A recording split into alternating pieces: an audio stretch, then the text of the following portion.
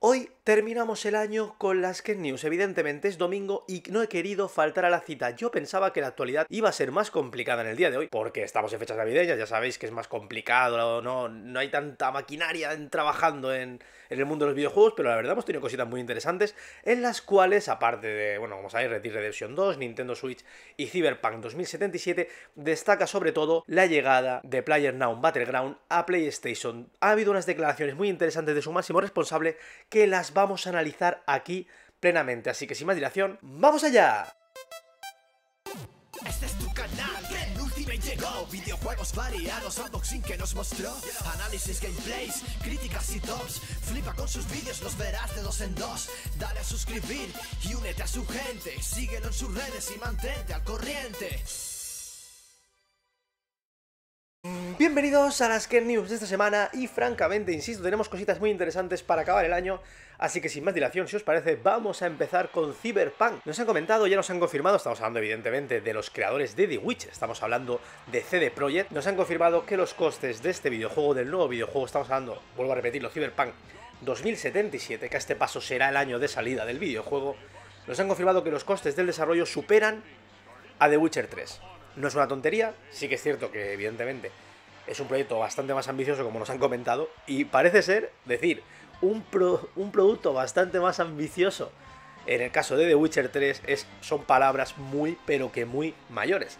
Así que esta sería la primera noticia, veremos a ver, estamos, bueno, infinita, infinidad de gente eh, enamorados de este proyecto, encima de ese maravilloso tráiler que pudimos ver, que poco más hemos visto, por no decir nada más, y poco más sabemos. Sabemos que hay una pequeña, ha habido a lo mejor una pequeña crisis interna dentro de CD Projekt, porque es que estamos hablando de productos complicados. Estamos hablando de proyectos muy complicados para llevar a cabo, pero veremos a ver cómo sale. Esperemos que salga satisfactoriamente.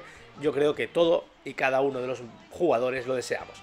Seguimos con una noticia que quiero, no sé si en un futuro hacer un vídeo individual de esto, pero desde Bethesda, y me ha sorprendido más que lo haya dicho Bethesda, ya nos están metiendo otra vez esta campaña, ¿no? De que los precios de los videojuegos AAA van a subir. Y esto, insisto, hice un vídeo sobre esto, va a haber una campaña dura acerca de querernos justificar dos cosas. Por un lado, A, la subida de los precios AAA, o por otro lado decir, no, no, justificamos que con los micropagos, con las lot boxes estas, no sé qué, pues mantenemos los 60-70 euros como precio estándar, ¿no? Esta va a ser la campaña que vamos a vivir desde muchos sectores y Bethesda, y me sorprende que haya sido Bethesda, o bueno, estamos hablando de uno de los mayores responsables de la compañía, nos ha confirmado que esto, en su opinión, que los precios de los AAA aumentarán, o en su defecto esto sustituirán a los micropagos, no, no sé qué, o sea, bueno, no deja de ser de echar más leña al fuego a esta polémica, a esta dura polémica de los micropagos que estamos viendo que está siendo una, una de las cosas más negativas que podemos tener en cuenta de este 2017 sin ningún género de dudas, el auge de estas políticas. Seguimos. Deus Ex Mankind Debated confirmado videojuego para el PlayStation Plus. Aquí me están tocando la fibra. Yo recomiendo a todo y cada uno de los jugadores que tengan el PlayStation Plus en su poder que se descarguen este juego ya. Bueno, el, el momento que puedan que se lo descarguen porque para mí es uno de los mejores juegos de 2000, creo que salió en 2016, puede ser agosto de 2016, quiero recordarlo, que por desgracia no vendió bien y ya nos ha, bueno, más o menos Square Enix nos dijo que se iba a poner en la nevera la saga y encima luego se hicieron con la licencia nada más nada menos que de los Vengadores de Marvel y parece que van a trabajar en ello, así que se va a quedar lo que es la saga un poquito estancada, pero también nos han dicho que en un futuro la traerán de vuelta, eso también es una muy buena noticia, humildemente, porque, joder, os lo vendo un poco el juego, os lo vendo. Estamos hablando de un mundo, una evolución donde las máquinas, bueno, se han medio fusionado, bueno, se han, más androides, ¿no? Los humanos han puesto mejoras eh, mecánicas, también a nivel neurológica, ¿no? Y ese mundo ha evolucionado y hay mucho racismo. Eh, la historia que te cuentan está bastante bien llevada, es bastante madura. Y el personaje Adam Jensen mola muchísimo, mola muchísimo. Así que personalmente es muy recomendable este juego y es una buena noticia que el PlayStation Plus lo regale. Ya están últimamente regalando cosas bastante mejores, ¿no? Eh, ya recordamos Metal Gear Solid 5 de Phantom Pain, recordamos también Life Strings y ahora, bueno, otro, otro juego bastante interesante, bastante importante, este Deus 6 Minecraft Debated. Continuamos con la noticia, los objetivos. Nintendo Switch nos ha prometido, nos ha dicho que se cumplen, se ponen como objetivo llegar a los 20 millones de ventas en el próximo año fiscal. Como bien sabéis, es un objetivo bastante fácil de cumplir porque ya mínimo llevan 10 millones. Ha salido hace poco un rumor de que, bueno, un rumor, medio rumor, no confirmación, de que ya llevaban 15, una cifra muy, muy tocha, muy tocha, hablando de que la consola, insisto, que llevas, eh, vale, llevará 10 meses aproximadamente, muy tocha.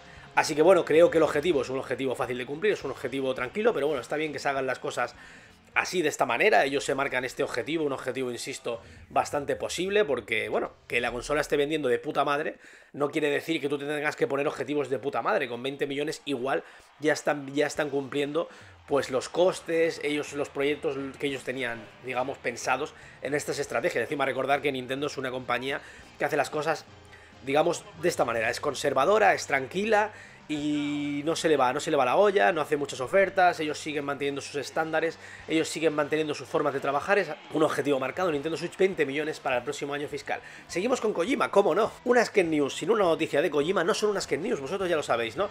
Estamos hablando de que nos promete anuncios que nos van a sorprender y esto, evidentemente, hablando de su nueva obra, de su futuro proyecto, Dead Stranding. Bueno, pues estoy esperando. Como bien sabéis, yo siempre doy mi opinión acerca de Death Stranding.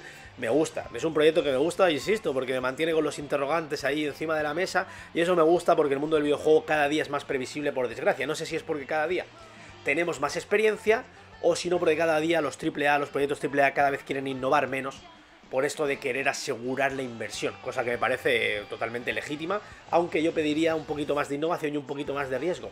Pero bueno, eso, para eso también está el mundo de los indies, el mundo independiente, que también le da cierto morbo y cierta gracia a ese maravilloso y profundo universo de los videojuegos independientes. Seguimos con la noticia de Red Dead, y es que una tienda online, cuyo nombre no quiero decir porque puede ser que el objetivo de haber puesto fechas precisamente para promocionarse más, así no voy a decir el nombre, pero sí que nos ha fechado y podría ser, podría, podría cuadrar por todo lo que, por toda la información que nos ha ido dando, en este caso Rockstar, nos fecha Red Dead Redemption 2 el 8 de junio. Bueno, ojalá, ojalá, ojalá sea el 8 de junio.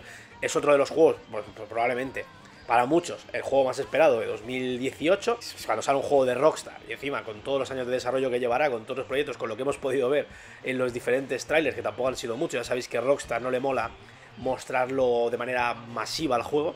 Pues nada, ojalá saque este 8 de junio y ojalá podamos tener y poder disfrutar tan prontico, porque a tonto, a tonto, el 8 de junio solo quedan 6 meses y muchísimas ganas de poder disfrutar de este Red Dead Redemption 2. Seguimos, Nintendo trabaja en una nueva consola. Ya lo, bueno, hicimos un vídeo en profundidad hablando sobre esto, sobre qué posibilidad qué posible consola sería el relevo generacional de Nintendo Switch y sería una mejora rollo PlayStation 4 Pro o Xbox One X de la misma, o si sería ya la sucesora de la Nintendo 3DS, pero unificándose en el universo Switch y digamos teniendo el mismo catálogo, ¿no? Está también rumoreada de Nintendo Switch Mini. Bueno, pues esto se habla en un vídeo en profundidad, creo que hace dos vídeos, creo que lo tocamos este tema el viernes. Así que si estáis interesados en tomar este tema de la futura consola de Nintendo en profundidad, os invito a que os paséis. La verdad es que el vídeo quedó bastante chulo. Y nada, sin más dilación, me voy a meter ahora de cabeza con la noticia tocha con la noticia que mucha gente habrá dicho, hostia, pues no se ha hecho mucha gente eco de esto y a mí me sorprende.